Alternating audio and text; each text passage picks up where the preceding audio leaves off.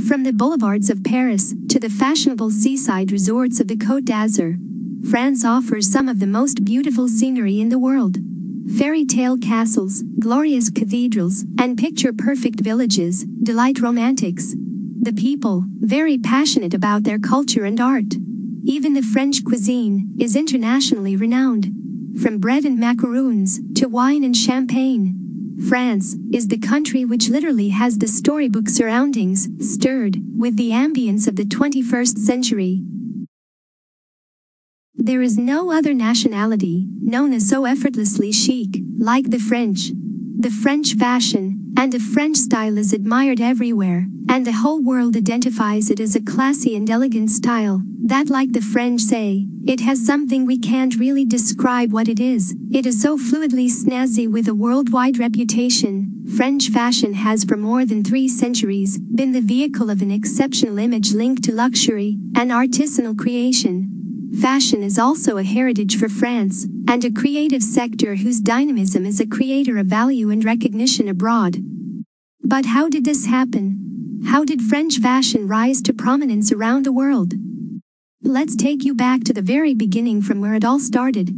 Stay tuned as I tell this incredible story at how France held on to its fashion crown after the royalty who founded it lost their heads. Literally. The insatiable appetite of the French court for opulent dresses drives the country's textile trade, which, in an act of brazen elitism, has been under sovereign rule since Louis XIV, setting the foundation for haute couture. If you know anything about French history, you probably know about King Louis XIV, who is one of the major reasons why French royalty is known for its opulence and excessiveness. Under his reign he deemed that the textile trade of France be under the control of the royal court. Another way King Louis showed off his style was through the elaborate costumes he would wear when he got his royal portrait painted.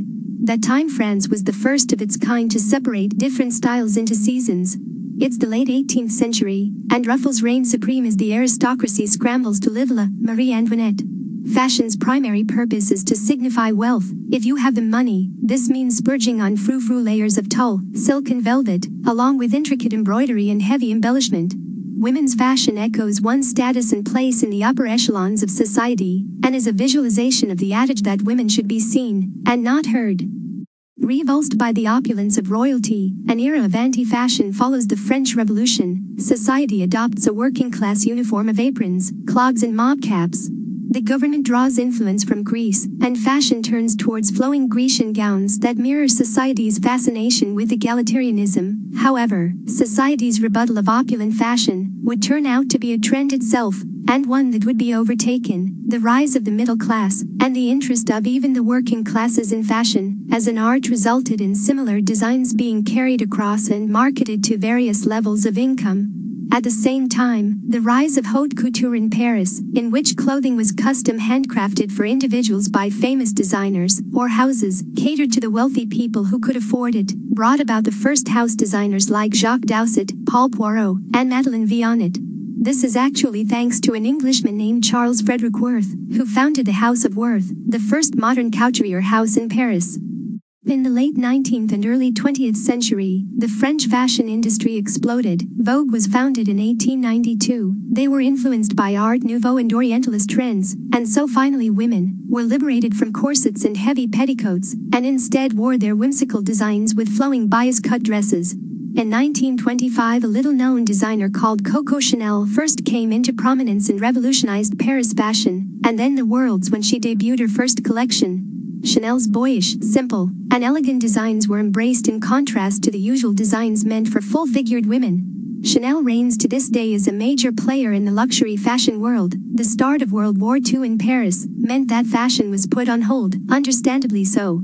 Many designers were forced to close their fashion houses, and because of rationing on fabric and general disorder throughout Europe, not that many new styles or designs emerged. Fast forward to 1947, where new designer Christian Dior presents his now famous New Look designs. The new look included a collection of dresses with very small waists and full skirts. After the horrors of World War II, women were ready to treat themselves to the luxuries of fancy fabrics and elegant designs. It flies in the face of Chanel's free-flowing silhouettes and evokes Marie Antoinette's robe la francaise. But, naturally, Dior's new look soon becomes the old look. The house's spring 1958 collection is a stark example of this shapeshift.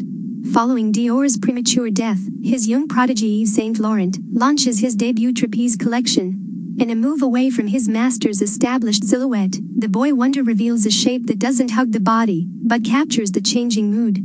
Up until the 1960s, fashion was very standardized. This means that almost everyone was wearing the same styles all of the time, and unless you were very wealthy, you probably only had between two to three outfits to choose between. This all changed in the 1960s when Yves Saint Laurent put Paris on the spot again with his pret-a-porter, ready-to-wear, line which made fashion accessible to the masses. In fact, even though Paco Rabanne and Pierre Cardin pushed fashion towards the future, creating bold shapes, they always had to stay under YSL's shadow. He was undoubtedly king of the latter part of the century. New techniques contributed to the rapid dissemination of Paris fashions throughout the world.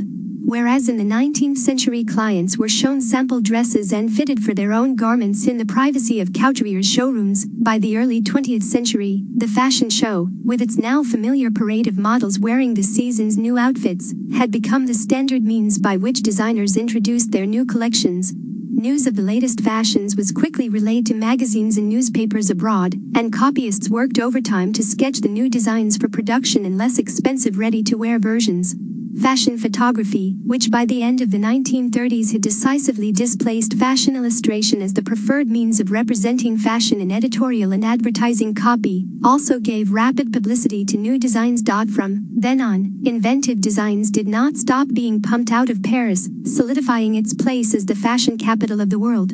In those times France imbued its citizens with an innate sense of style, and to this day, fashion holds a significant place in French cultural lives, Paris is at the epicenter of French fashion. Parisian fashion weeks have a reputation like no other, feeding a public hungry for innovation and superior quality, and Designs. Paris still is home to several haute couture maisons, such as Dior, Givenchy, Jean-Paul Gaultier, Chanel, and high-end luxury fashion brands such as Saint Laurent, Celine, Hermes, Lanvin and Louis Vuitton.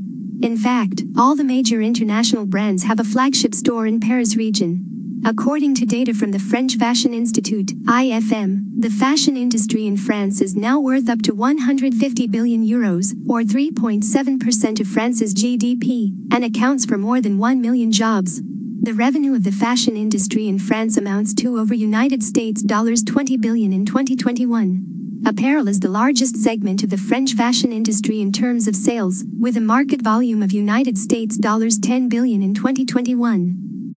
French style is not a difficult style to pull off, and is not entirely unattainable.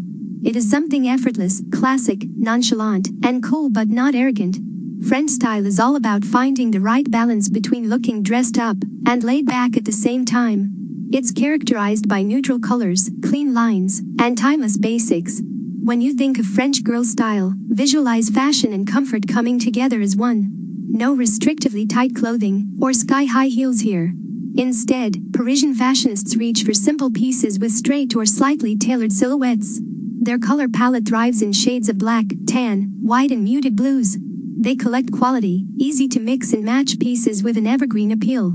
Most of what we consider Parisian design falls under the umbrella of chic style.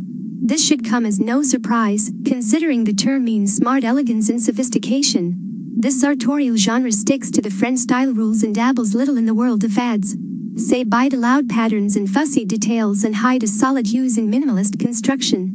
There are some items that can most commonly be spotted in the streets of Paris. A blazer, waisted cocktail dress, ballerinas, flats and sneakers, and denim trousers. No French woman or girl would have a closet or wardrobe without these amazing pieces. But, do people think that French fashion is overrated? It has been debated over and over again if French fashion is actually overrated which might or might not be true, because it depends on perspective. But what defines French fashion is confidence. Confidence is going out in shoes that you walk in comfortably and gracefully, whether they are Stan Smiths or Christian Louboutins.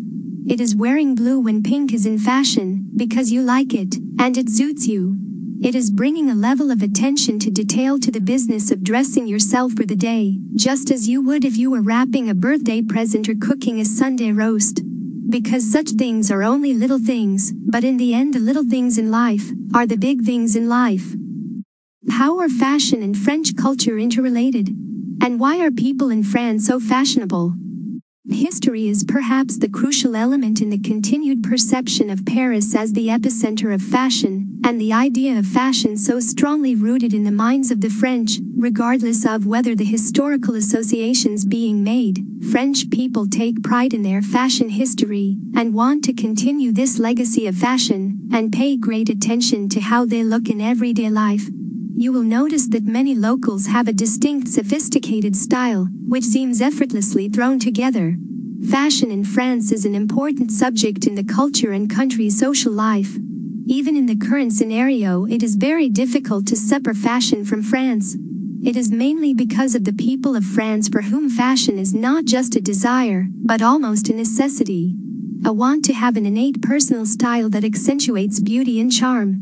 Thus fashion is embedded in the French culture so strongly that this love affair is difficult to break. Even though another city might become paramount during some seasons, Paris remains generally acknowledged as the most important fashion city. Women and men fashion has become extremely similar with gender constraints gradually falling away. Paris continues to be at the forefront of brands with oversized suits and sweaters, designed by brands like Celine to contemporary flavored fashion phonetics. The French hold an enormous sense of reverence for the charms and artistic nuances that fashion brings into our lives. As the creators of modern luxury fashion, no other culture is worth such glamour, pure aesthetic allure on the world stage. Despite many new faces on the international fashion scene seeking to steal the Paris claim on the crown, none have yet succeeded. It seems that the French school claim on the style is one that will not be overcome, and as the industry seems to evolve, Paris remains steadfast as the city of love and fashion, and will continue to be an inspiration for many in years to come.